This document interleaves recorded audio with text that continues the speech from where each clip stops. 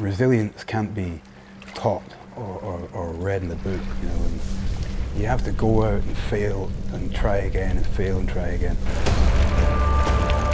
My God, final 42k into a headwind for like two and a half hours was so destroying. On paper, you should have been here half an hour ago at least, it's, it's concerning. It's the north wind that made the Vikings. You got you got to stand up and push forward.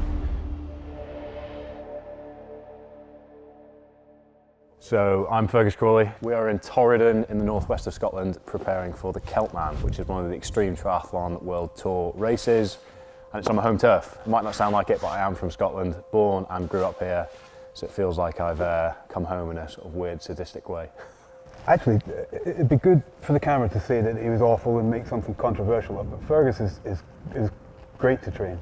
Jonathan Payne, my coach of almost four years with the most fitting surname available on the planet. Yeah, so the Celtman is coming up to 10 years old. It involves a 3.4 kilometre swim in Loch Shieldaig, which is a sea loch coming off the Atlantic with jellyfish. It's about 10 degrees. You come out of the water at Shieldaig into a 202 kilometre bike ride, and then off the bike, you are into a marathon over two Munros, 1800 metres of elevation on your feet to finish the day. So it's a pretty brutal day out. Well, can I do this? Can I do this? The answer, you'll not get the answer until you walk into that field you get an opportunity to kind of meet yourself in the middle and say, well, who am I? What am I? What am I capable of? And that's, that's the beauty of it.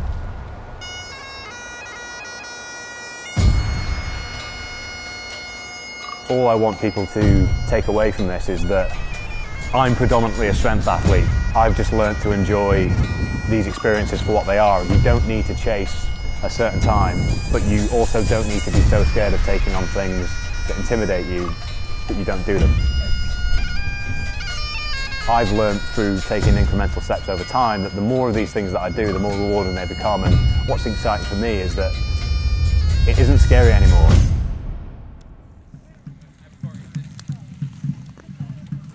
Okay, we're going to set the first folks off in about 30 seconds time and then we're going to set you off at roughly 5 or 6 second intervals after that.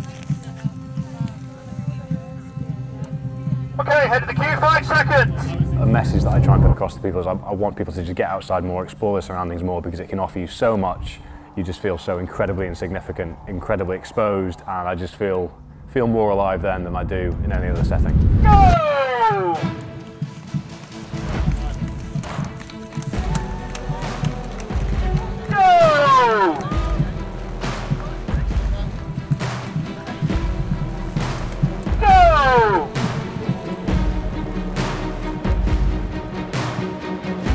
The Celtman Triathlon, like any other triathlon, comprises of three elements, a swim, a bike, and a run. What makes the Celtman different is that depending on your time, there are two routes you'll go through for the run. The high route is going to take you up over two summits, and the low route is going to take you through a very rocky, treacherous technical trail. The difference between the two is simply cut-off times for safeties. Once the klaxon goes and you're in the water, I've got 11 hours to get to T2A, which is the swim, 202k on the bike, and then 17k of the run. My sole ambition tomorrow is to get there on time.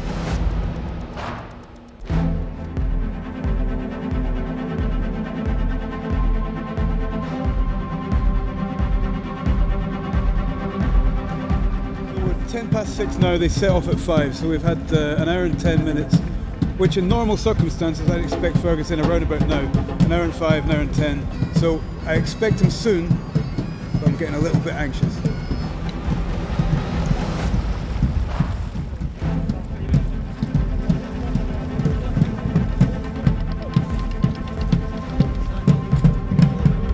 Cold, but I drifted quite far, which didn't make things easy. We cost myself five, ten minutes, but I'm here. Could be worse, could have drowned.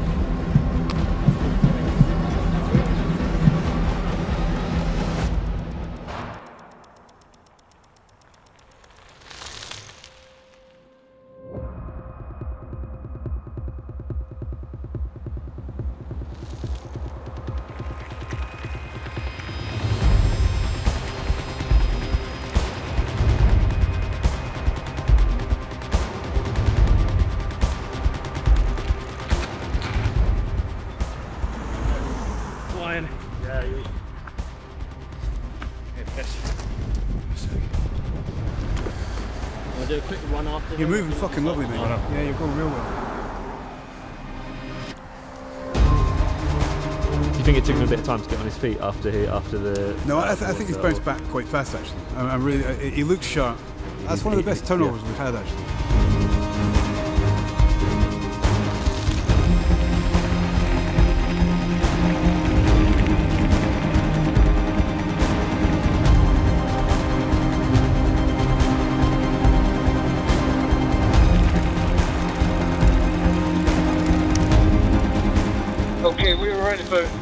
80 kilometres in. Uh, doing really very well. We had a little bit of a, a kind of kick up his ass maybe a half an hour ago just to make sure he stayed hydrated. He, he was pushing hard and, and just wanted to keep his head down. Uh, and he looks and feels good. And from my perspective and from his, so it's, uh, yeah, it's very, very positive at this point. It's basically a guaranteed headwind for that final 42k every year.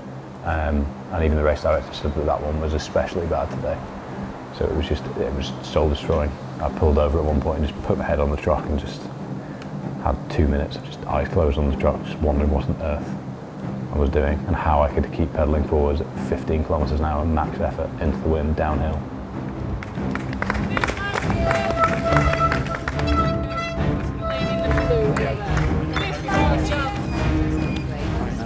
Yeah, so 7.37, 27 elapsed time. Everything was fine.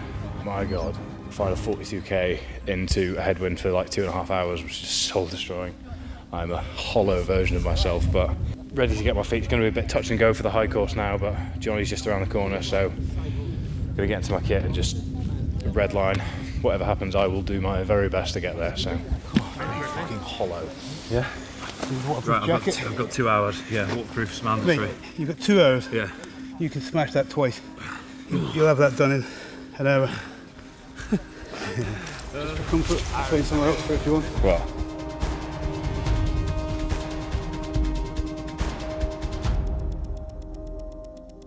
Five to four here now at T2A. Uh, T2A is the cut-off for the mountain pass. High course is where we want to be. Uh, Fergus really was expected to be in well before now for the high course, so he's got five minutes to get here. It's not looking great.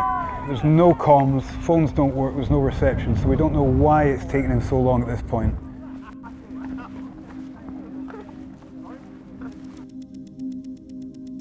Two minutes past four now. Fergus isn't here. I can see, I don't know, two, two, three hundred meters that way, and he's not, he's not coming over the ridge either. So he's not, he's not in sight, and I'm still concerned because he, he- on paper he should have been here half an hour ago at least. So it's, it's concerning.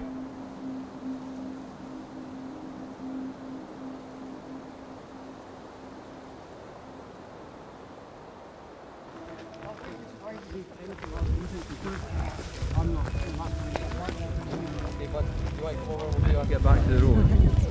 It's not easy. It goes up quite steeply to start to start with, and then over the hill. So just take it nice and gentle. Look after your feet because it's really rocky. but I missed out on the high course by 13 minutes. And as I said, my one goal for this was to get to the high course. But uh, when it's that marginal, I can't really be disappointed. Is what it is. I still get to finish. It's not a DNF or anything like that. It just means to do the lower course. But don't start thinking, oh well, you know, we came, we tried, we'll just go the easy route home. This is not easy. This is still a mountain marathon through Torridon. You know, whether you finish or not isn't dreadfully important to me. It's whether you start and whether you give it your everything and whether you come out of it, whether it's on camera or whether it's on the journey on the way back down again. And there's some lessons we can talk about and things that we can laugh about, you know, things that kind of make you grow as a man and, and that luckily we're in a position to share with others. Somewhere that's out there, isn't it? Yeah. yeah. Somewhere you're going to cycle, swim, or run through that. You know, we don't know which part of it or whether it's the whole thing, but you know, there's, there's some, some beauty in the not knowing.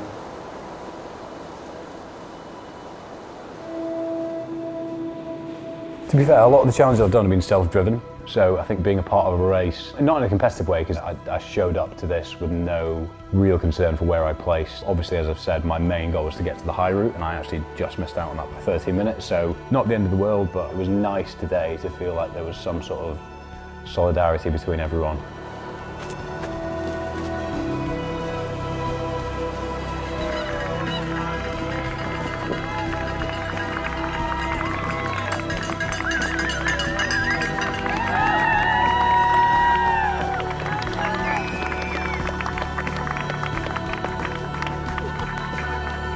Number 41. What did you one! Rosalind? It's, it's, not, it's not for everyone. The, training requires a lot of time and commitment, and that's why, that's why I've sort of taken it on whilst focusing on my strength work, focusing on everything else, because we don't need to be bound by the limitations that we set ourselves. And anybody can train up to take on something like this, but they just need to take the, uh, take the first step and actually believe that they can at some point in the future. Um, lesson learned, I guess. I'll be back.